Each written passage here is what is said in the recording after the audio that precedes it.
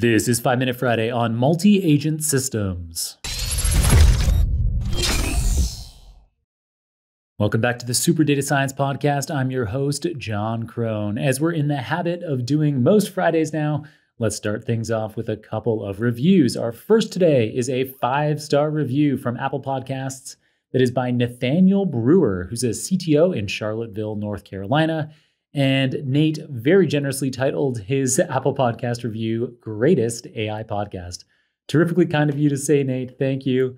Uh, the body includes some detail on why he thinks uh, this show is the greatest AI podcast. So he said, uh, as someone who is in the AI field with limited people to talk to in the field, this podcast is food for thought. Jon has the greatest guests with really awesome topics. If you're looking to stay up to date with AI, this is the podcast. All right. Thank you, Nate. Uh, our second review comes from Sei Adiko, who is a healthcare analyst in Nigeria. Sei says, Your podcast was a top resource through my master's program in applied AI and data science and continues to inspire and keep me abreast of the possibilities of data science. So happy to hear it, Sei. I hope we can continue to inspire you. Thanks for all the recent ratings and feedback on wherever you listen to your podcasts Apple Podcasts, Spotify, and all the other podcasting platforms out there as well as for likes and comments that you provide on our YouTube videos. Apple Podcast reviews, in particular, are especially helpful to us because they allow us to, uh, they allow you, sorry, to leave written feedback if you want to, and that allows me to keep a close eye on the reviews. And if you leave one, I'll be sure to read it on air, like I did uh, the couple of reviews that we had today.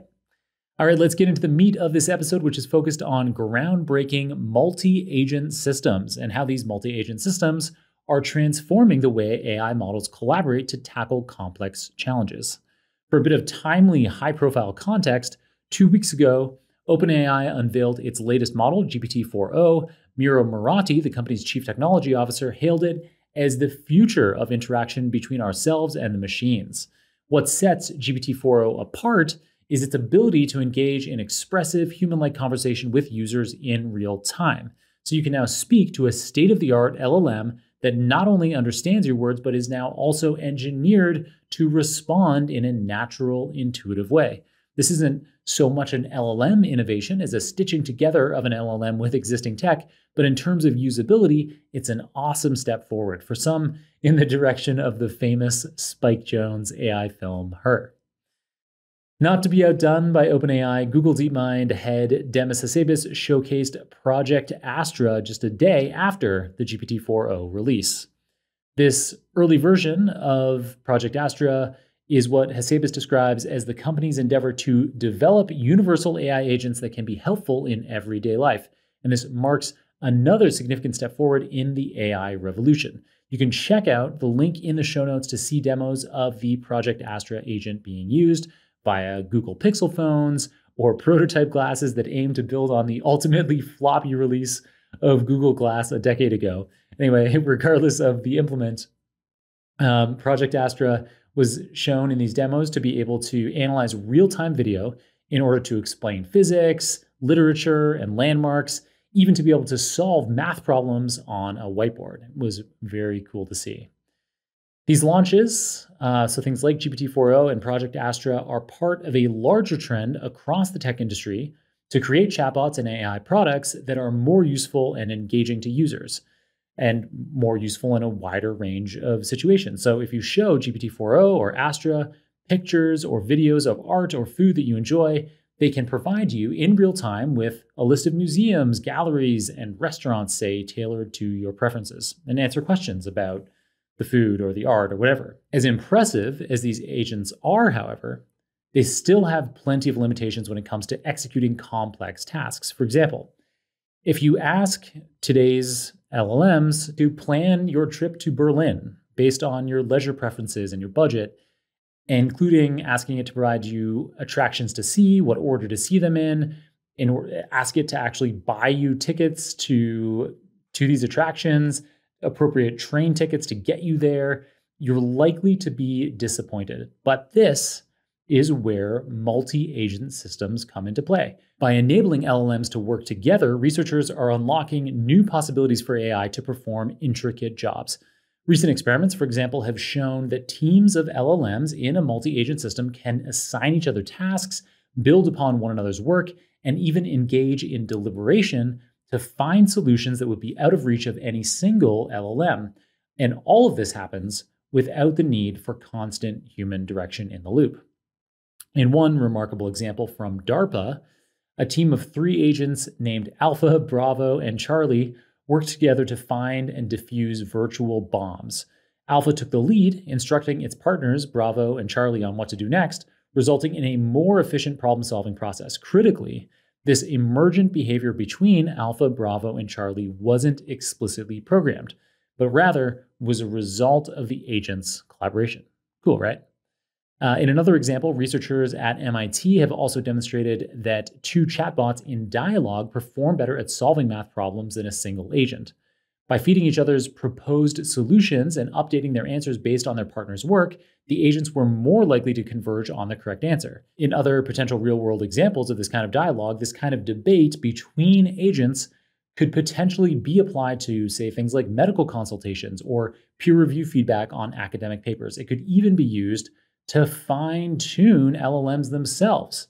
Um, you know, therefore limiting the need for humans to be labeling data with processes like RLHF. Anyway, uh, the power of multi-agent systems lies in the ability of these systems to split jobs into smaller, specialized tasks, with each agent possessing distinct skills and roles. At Microsoft Research, for example, a team of humans created a software writing multi agent system consisting of a commander that delegates subtasks, a writer that writes the code, and a safeguard agent that reviews the code for security flaws. This approach of having these different specialized characters, a commander, a writer, a safeguard, this resulted in code being written three times faster than with a single agent without sacrificing accuracy. Cool. So some really great examples there. However, um, with as with any AI advances, there are potential downsides to multi-agent systems as well. So LLMs can sometimes generate illogical solutions, and in a multi-agent system, these so-called hallucinations can cascade through the entire team. Agents have also been known to occasionally get stuck in loops, for example, by repeatedly bidding each other farewell without breaking free from that loop. Despite these challenges, the commercial interest in AI teams is growing. Microsoft's CEO Satya Nadella has emphasized the importance of AI agents' ability to converse and coordinate, and the company has released AutoGen, an open source framework for building LLM based multi agent systems. Other frameworks like Camel offer no code functionality, allowing users without any coding ability to input tasks in plain English and watch the agents get right to work. I've got links to both of these projects, Microsoft's AutoGen and Camel, for you to check out in the show notes. As multi agent system technology advances, like any AI advances, yeah, yeah, there are, of course, potential risks. Malicious actors could exploit these systems by conditioning agents with dark personality traits, enabling them to bypass safety mechanisms and carry out harmful tasks. The same techniques used for multi agent collaboration could be used to attack commercial LLMs through jailbreaking or do all kinds of other nefarious things. Hopefully, however, the positive applications of multi agent systems end up greatly overwhelming the negative ones, including by us doing research, by people like you potentially doing research on systems for defending against multi agent system misuse. Yeah, so assuming we can contain the negative effects, this is very exciting indeed. And there are truly limitless applications for multi-agent systems out there. Um, what in your industry could be automated or improved by multi-agent systems where, say, single LLM approaches aren't sufficiently effective?